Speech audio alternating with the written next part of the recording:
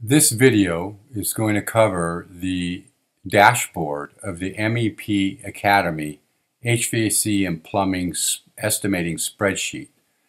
Now this uh, spreadsheet is available with both trades or you could get it individually with just HVAC or just plumbing.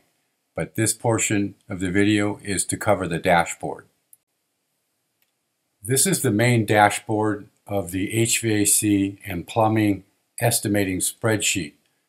We believe your estimating spreadsheet should inform you of all the parameters that will help you make a decision. And on this spreadsheet, we have sales price and cost. You can see the profit amount, overhead, and your labor coverage, which is important.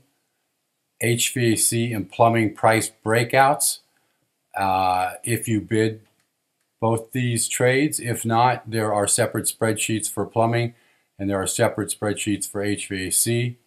You can see pricing parameters, cost per ton, cost per square foot for the total project, your margin amounts and your markup amount. And then over here you got your trade breakouts, your sheet metal, piping, and plumbing. You can see the total cost, trade cost. That's just material and labor. The dollars per square foot for the sheet metal, for the piping, and for the plumbing. And also the dollar per foot for the sheet metal ductwork, for the HVAC piping, and for the plumbing piping, dollars per foot. Then you can see the productivity. How many linear feet per man day are you figuring on this bid? So you can use this to look at your historical data to see if these numbers make sense to projects you've bid in the past that are of the same type. And it just gets you more informed, more aware of what things are costing on a metric level, meaning measuring it against square footage, against feet, some kind of measurement that can possibly inform you of an error or of a possibility or opportunity.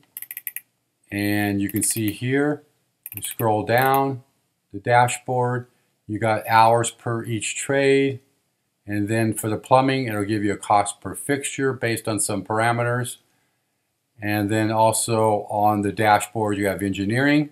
It'll tell you CFM per ton, square foot per ton, CFM per square foot, and for heating, BTUs per square foot.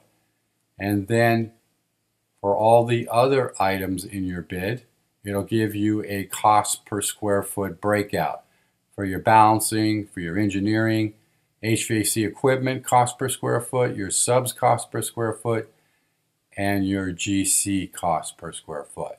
So that is your main dashboard that when you're bidding on a project, you can come to the dashboard and get a quick overview of where you're at.